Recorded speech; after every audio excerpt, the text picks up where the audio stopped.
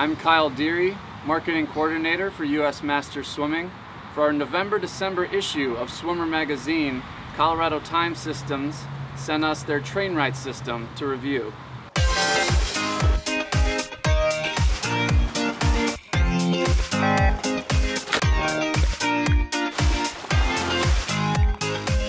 At the core of a lot of Colorado Time Systems products is the Pace Clock Pro.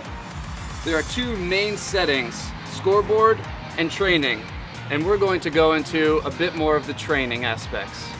In the training setting, there are 16 different modes.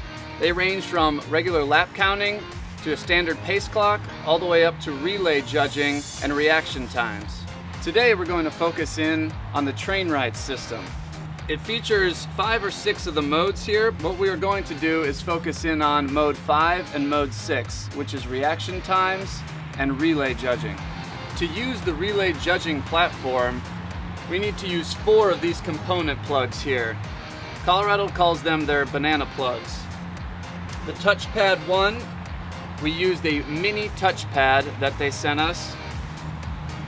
For the relay platform, we use the relay judging platform. For the reset and breakout button, we use the typical plunger, and for the start system, we use the championship start system.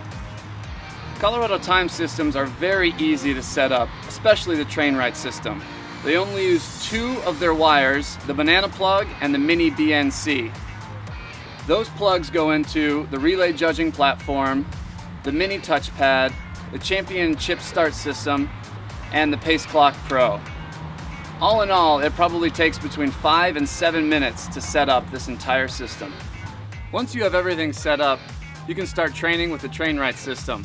This particular setup has the relay judging platform and the touchpad. The relay judging platform helps you gauge reaction time based off when the starter clicks the horn and when the swimmer's feet have finally left the blocks.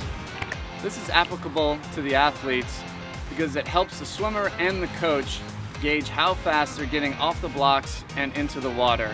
And it gives you that immediate feedback when it's connected to the Pace Clock Pro. The relay judging platform also has a couple of cool features.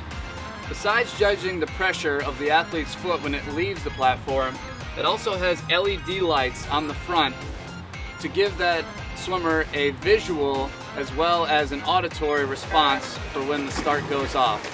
In addition to judging the swimmer's reaction time off the block on a flat start, we also incorporated the mini touchpad so we can gauge swimmers' reaction times on relay exchanges as well.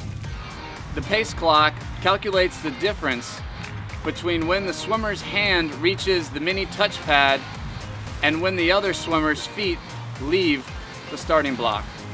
It is important for swimmers to know this relay reaction time because not only can it get you disqualified, but it also can help you save seconds on your relay exchanges and your final relay time.